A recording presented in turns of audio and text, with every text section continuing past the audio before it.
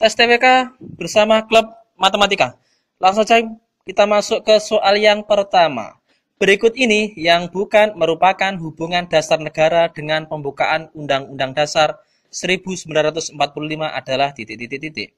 A. Falsafah dasar negara Pancasila yang abstrak tercermin dalam pembukaan Undang-Undang Dasar 1945 dan merupakan uraian rinci dari proklamasi kemerdekaan RI. B. Pancasila yang dirumuskan dalam pembukaan Undang-Undang Dasar 1945 merupakan suatu kebulatan yang utuh dan tersusun secara sistematis dan bertingkat. C. Jiwa Pancasila yang abstrak setelah tercetus menjadi proklamasi kemerdekaan RI 17 Agustus. 1945 tercermin dalam pokok-pokok pikiran yang terkandung dalam pembukaan Undang-Undang Dasar 1945. D. Kesatuan tafsir sila-sila Pancasila harus bersumber dan berdasarkan pembukaan dan pasal-pasal dalam Undang-Undang Dasar 1945.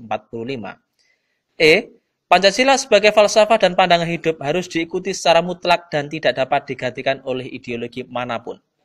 Kita berikan penjelasan di sini. Hubungan dasar negara dengan pembukaan Undang-Undang Dasar 1945 yaitu yang pertama, falsafah dasar negara Pancasila yang abstrak tercermin dalam pembukaan Undang-Undang Dasar 1945 dan merupakan uraian rinci dari proklamasi kemerdekaan RI. Yang kedua, Pancasila yang dirumuskan dalam pembukaan Undang-Undang Dasar 1945 merupakan suatu kebulatan yang utuh dan tersusun secara sistematis dan bertingkat. Yang ketiga, jiwa Pancasila yang abstrak setelah tercetus menjadi proklamasi kemerdekaan RI 17 Agustus 1945 tercermin dalam pokok-pokok pikiran yang terkandung dalam pembukaan Undang-Undang Dasar 1945. Poin keempat, kesatuan tafsir sila-sila Pancasila harus bersumber dari berdasarkan pembukaan dan pasal-pasal dalam Undang-Undang Dasar 1945. Jadi jelas di soal nomor satu yang bukan merupakan hubungan dasar negara dengan pembukaan Undang-Undang Dasar 1945 adalah jawaban yang E. Pancasila sebagai falsafah dan pandangan hidup harus diikuti secara mutlak dan tidak dapat digantikan oleh ideologi mana pun. Oke lanjut kita ke soal berikutnya di soal yang kedua. Di soal yang kedua, perbedaan Pancasila dengan ideologi sosialisme dalam aspek pandangan terhadap individu dan masyarakat adalah titik-titik-titik. A. Dalam ideologi Pancasila, individu dan masyarakat diakui keberadaannya. Individu baru memiliki arti jika hidup di tengah masyarakat. Sedangkan dalam ideologi sosialisme, masyarakat lebih penting daripada individu. Jawaban yang B, dalam ideologi Pancasila, individu dan masyarakat diakui keberadaannya.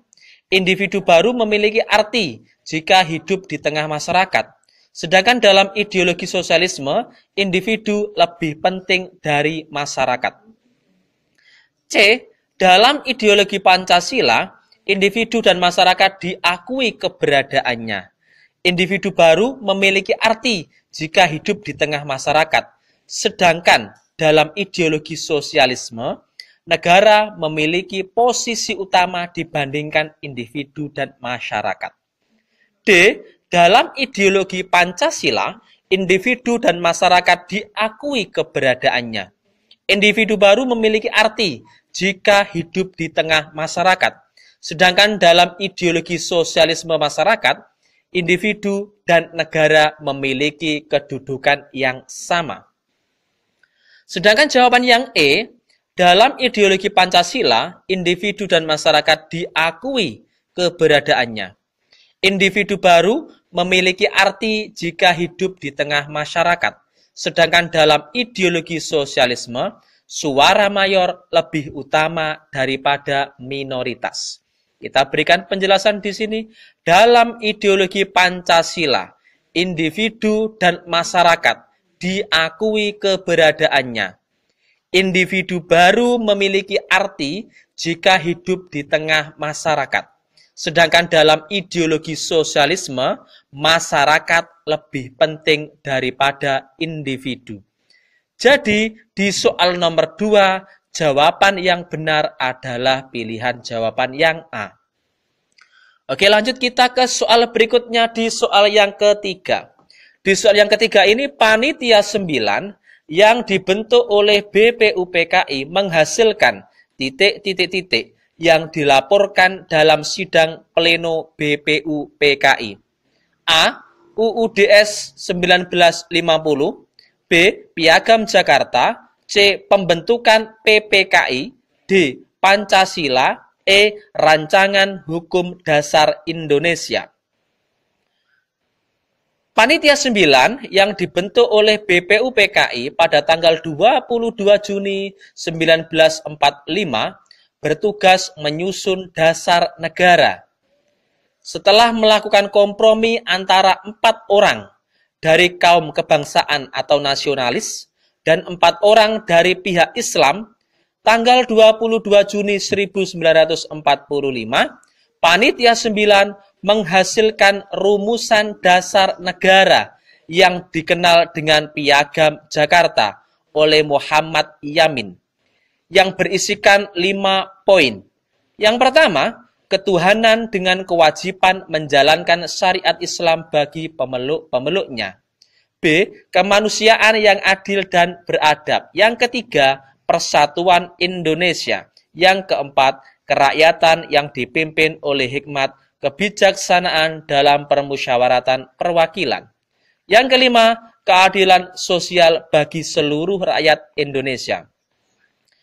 Di sini piagam Jakarta inilah yang menjadi cikal bakal pembukaan Undang-Undang Dasar 1945 dengan perubahan pada sila pertama, yaitu pada sila ketuhanan dengan kewajiban menjalankan syariat Islam bagi pemeluk-pemeluknya. Di sini didasarkan pada berbagai pertimbangan mengenai sebuah negara kesatuan. Jadi, di soal nomor tiga di sini Panitia 9 yang dibentuk oleh BPUPKI menghasilkan Piagam Jakarta yang dilaporkan dalam sidang pleno BPUPKI. Selanjutnya di soal yang keempat. Dalam hal penggunaan lambang negara, ditempatkan bersama-sama dengan bendera negara, gambar presiden atau wakil presiden. Penggunaannya adalah sebagai berikut. A. Lambang negara diletakkan di sebelah kiri lebih tinggi daripada bendera negara dan gambar presiden dan wakil presiden. B. Lambang negara diletakkan di sebelah kanan lebih tinggi daripada bendera negara dan gambar presiden dan wakil presiden. C. Lambang negara diletakkan lebih rendah daripada bendera negara dan gambar presiden dan wakil presiden. D. Lambang negara diletakkan sejajar daripada bendera negara dan gambar presiden dan wakil presiden.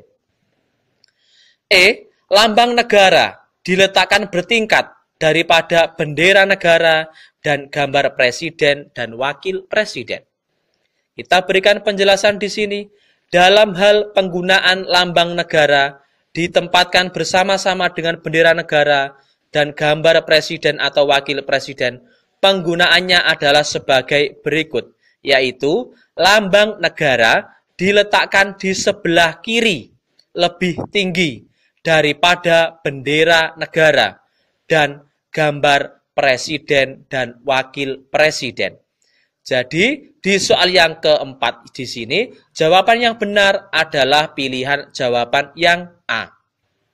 Oke, lanjut kita ke soal berikutnya. Di soal yang kelima.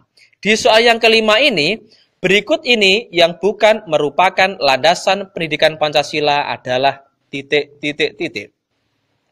A. Landasan historis. B. Landasan moral. C. Landasan yuridis. C. Landasan kultural. Atau E. Landasan filosofis. Landasan pendidikan Pancasila berdasarkan pada keputusan Dikti nomor 26 ke tahun 2000 antara lain sebagai berikut, yaitu landasan historis, landasan yuridis, landasan kultural, dan landasan filosofis. Jadi, yang bukan merupakan landasan pendidikan Pancasila adalah pilihan jawaban yang B, landasan moral. Selanjutnya kita masuk ke soal yang keenam bersama klub matematika, tempat belajar yang mudah dan menyenangkan. Berikut ini yang bukan merupakan nilai praktis yang ditunjukkan dalam sila kemanusiaan yang adil dan beradab yang berkaitan dengan HAM adalah titik-titik-titik. A. Berani membela kebenaran dan keadilan. B. Cinta tanah air dan bangsa. C. Menjunjung tinggi nilai-nilai kemanusiaan. D. Tenggang rasa pada orang lain. E. Mengakui persamaan hak dan kewajiban antar sesama manusia. Nilai praktis yang ditunjukkan dalam sila kemanusiaan yang adil dan beradab yang berkaitan dengan HAM antara lain adalah sebagai berikut. Yang pertama, mengakui persamaan hak dan kewajiban antar sesama manusia. Dua, saling mencintai sesama manusia.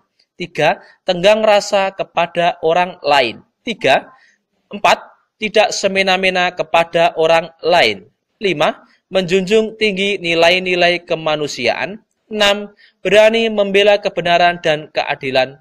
Tujuh, hormat, menghormati, dan bekerja sama dengan bangsa lain. Jadi yang bukan merupakan nilai praktis yang ditunjukkan dalam sila kemanusiaan yang adil dan beradab yang berkaitan dengan HAM adalah pilihan jawaban yang B, cinta tanah air dan bangsa. Oke lanjut kita masuk soal berikutnya di soal yang ketujuh.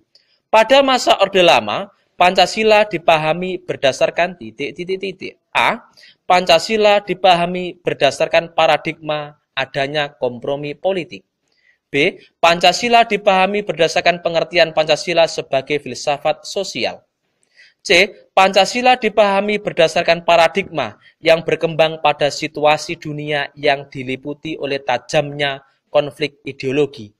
D. Pancasila dipahami berdasarkan fungsinya yang telah menyimpang dari Pancasila.